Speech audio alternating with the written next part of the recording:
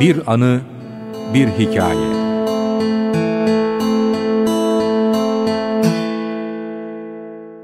Bir sahte dervişin casusluk hatıraları. 101. bölüm. Hazırlayıp sunan ben İsmail Yağcı. İngiliz casusu, Macar Yahudisi, 12 dil bilen, 4 din değiştirmiş, ölürken de hangi dine mensup olduğu hususu karma karışık olan Arminius Van Buren'in İngilizlerin verdiği bir görevle 1863 senesinde Taşkent, Semerkant, Buhara gibi e, Türkmenistan, Hive gibi yerlere bir yıl süren bir seyahatten sonra kalem aldığı hatıralarının bugün 105. bölümünü sizlerle paylaşmaya çalışıyoruz. Halen Semerkant'ta ve Semerkant'ta efendim e, 3000 katır yükü Rum ve Ermeni kitaplarının Timurhan yağma yaptığı yerlerden Semerkant'a getirmiş diyor. Aradım aradım bulamadım. Bizim diyor batılı tarihçiler de ayranı kabarınca bu işlerde muhakemeyi bırakıyorlar. Bir Müslümanı suçlamak gerekirse asılıyorlar ve suçluyorlar demek istiyor. Ben bunu böyle tercüme ettim. Ve zaten diyor burası Çin sınırına altı günlük mesafede. Ama Çin'in esas olan ülkesi, Çin ülkesi buraya altı günlük değil 360 günlük mesafede neredeyse diyor. Altı kere 60 günlük mesafede. Altı kere yani 60 günlük mesafe yol gitmek lazım ki Çin başkentine varasınız diyor. Çin hükümetinin ülkeyi diğer ülkelerden ayıran sınırlarının korunmasına verdiği önemi biraz da sonra da biraz Müslümanların diğer topluluklarından ayrı yaşamaya ne kadar meyilli oldukları düşünürse sınırdaş olan bu iki milletin aralarında hiçbir al ver ilişkisi olmadığı anlaşılır diyor. Tabi Doğu Türkistan hariç. Timur Han'ın türbesinin ön tarafındaki yazılara ve mimari süslemelere Semerkant'ın diğer yapılarının açık mimari benzerliklerine bakılırsa bu yapıların ekseriya İranlı ustaların eseri olduğu anlaşılır. Yani İranlı ustalar hem dönmüşler gelmişler efendim Bursa'daki Yeşil Camii yapmışlar. Hem gitmişler efendime söyleyeyim Semerkant'taki Timur Han'ın mescidini, camini ve türbesini, medreselerini yapmışlar. Allah Allah. Yani bu İranlı ustalar nasıl bir şey ki bir Mimar Sinan da İranlı usta mıydı yani? Bu yapılar Herat, Meşet ve İsfahan'daki yapılarla karşılaştırıldığında bu gerçek daha iyi anlaşılır. Ya onlar buradan kopya çektilerse? Emir genellikle Buhara'da oturmakla birlikte her yıl yazın 2-3 ayını Semerkant'ta geçirirdi. Evet. Ama şimdi savaş olduğu için Semerkant'ta da geçirmiyor. Şeyde geçiriyordu savaş yerinde. Herhalde burada da buluşacaklar. Semerkant'ın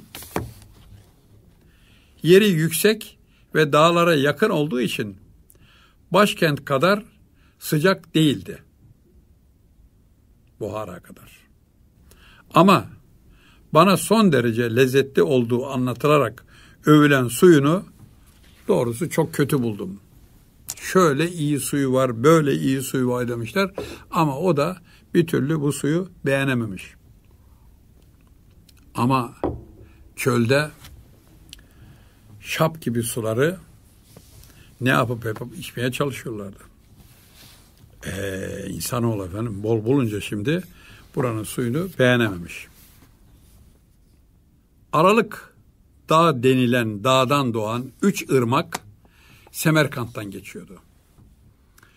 Bunlardan başka daha birçok su, kanal ve sarnıçları vardı. Burada iki kervansaray, üç de hamam vardı. Semerkant'tan büyük harabeleri başlangıçta çok hoşuma gitmemişti. Ancak içine girdikten sonra cennete benzetecek kadar övgüde ileri gitmesem de bu kadim başkentin gerek yerinin güzelliği gerek çevresini kuşatan toprakların bereketliliği ve verimliliği sebebiyle Türkistan'da gördüğüm diğer şehirlerin hepsine üstün olduğunu söyleyebilirim. Bulunan birkaç çarşı da bu kadim başkentin varlığını sürdürebilen büyük eser ve yapılardandır. Bu şehirde yapılan ve her tarafta nam kazanan Avrupa sanatçıların bile yapmakla övünebilecekleri güzellikteki meşin işleri ve ağaçtan yapılmış süslü at eğerleri çarşılarda çok ucuza satılır. İlla bir Avrupa ile kıyaslıyor. Biz oradan kopya çekmişiz sanki. Burada imal edilen ipek kağıtları güzellikte Buhara'nınkinden aşağı kalmaz.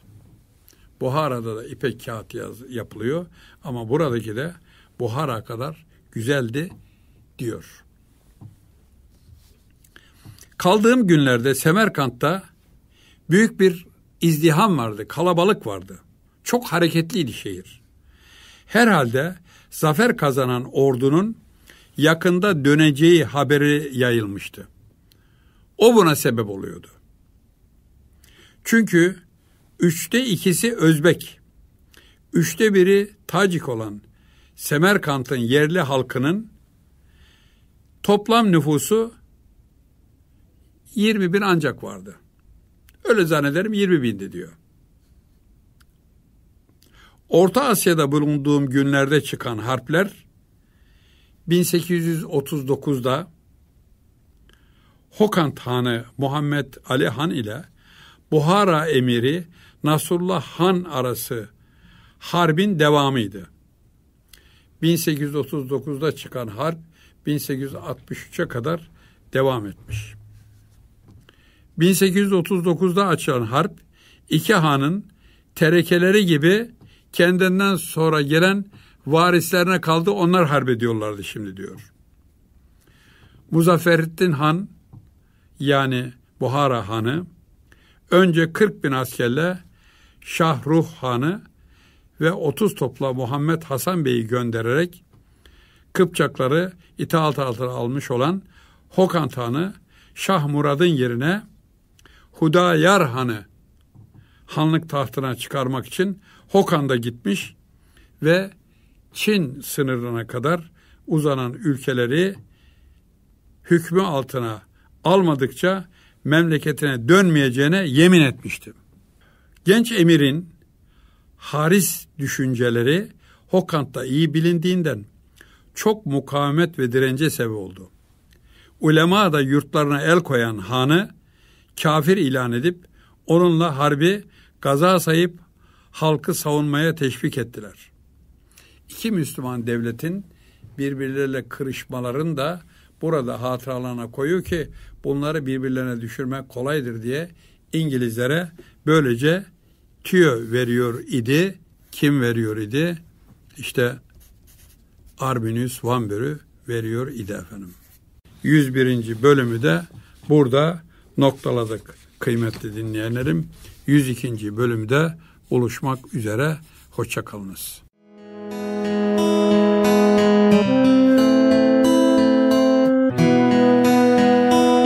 Bir anı, bir hikaye.